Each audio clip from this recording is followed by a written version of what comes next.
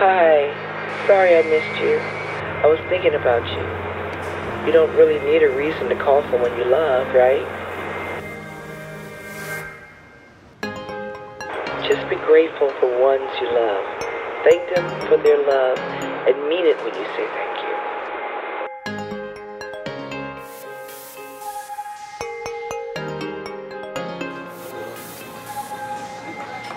you. Think people know we're grateful for them, but we've just got to show them.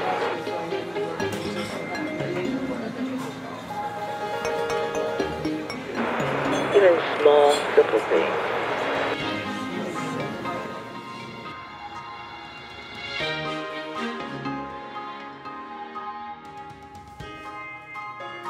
And don't forget God's hand in your life.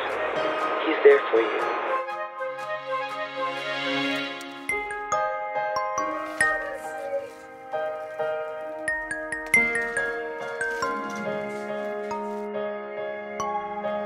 You've got to see the good in the world. I thank God for you every day, son.